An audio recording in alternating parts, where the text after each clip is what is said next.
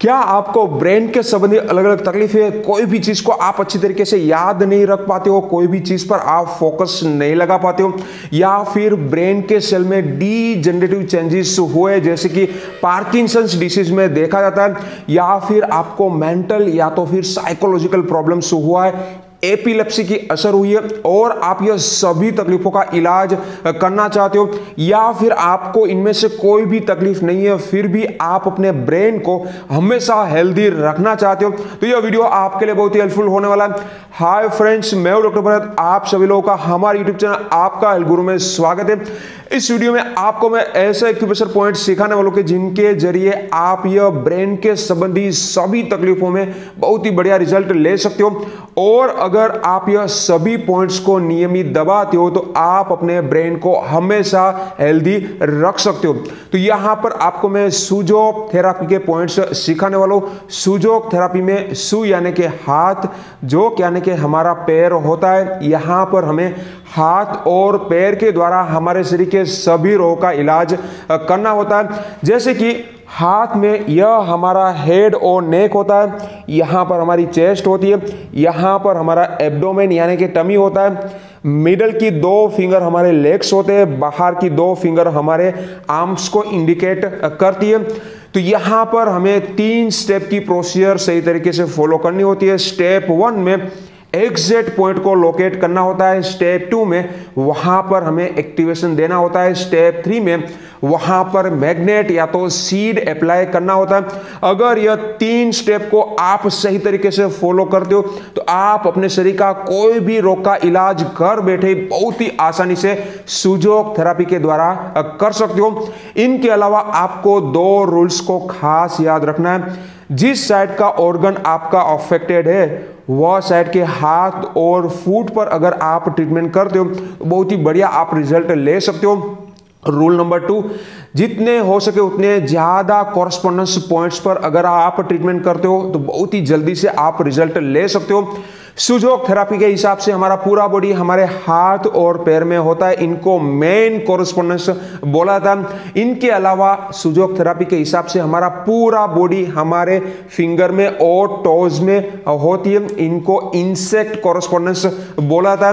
तो अगर आप यह चार जगह पर, यानी कि हैंड में मेन और इंसेक्ट फूट में मेन और इंसेक्ट यहाँ पर ट्रीटमेंट करते हो तो बहुत ही जल्दी से आप रिज़ल्ट ले सकते हो, पर कम से कम आपको इनमें से दो जगह पर ट्रीटमेंट करनी बहुत ही ज़रूरी होती है। अगर आप सही रिज़ल्ट पाना चाहते हो तो पहले हम स्टेप वन को जान लेते हैं। हमारा जो ब्रेन है, वह हमारे बॉडी के मिड लाइन पर दोनों साइड पर होता है। यहाँ पर हमें दोनों साइड के ब्रेन को एक्टिवेट करना है, उनको ट्रीटमेंट देनी है।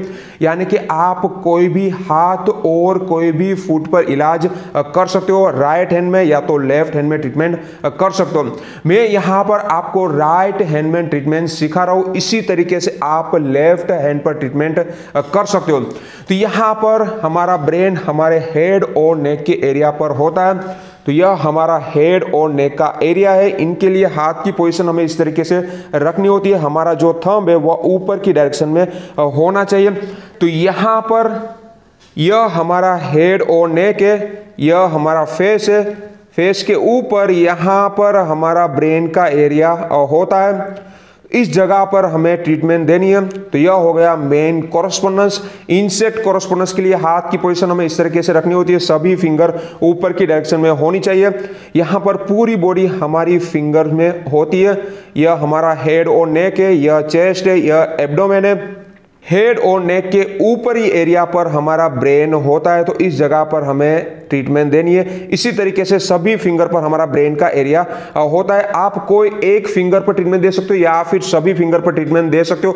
आपको अच्छी तरीके से पॉइंट को दबा के देखना है। सबसे टेंडर पॉइंट पकड़ लेना है। वह एक फिंगर में मिल सकता है या फिर आपको सभी फिंगर में भी मिल सकता है। जितने मैक्सिमम आप एरिया पर ट्रीटमेंट करोगे, उतना ही जल्दी आपको रिज़ल्ट मिलेगा। तो यह हो गया हमारा स्टेप वन स्टेप टू में। अभी ये सभी पॉइंट को हमें एक्टिवेट करना है। तो यहाँ पर आप इस तरीके का टूल का इस्तेमाल करिए, इनको अच्छी तरीके से दबाना है, दो से तीन मिनट के लिए हर एक पॉइंट को दबाना है, वहाँ पर अच्छा दबाव देना है ताकि आपको हल्का हल्का पेन फील हो।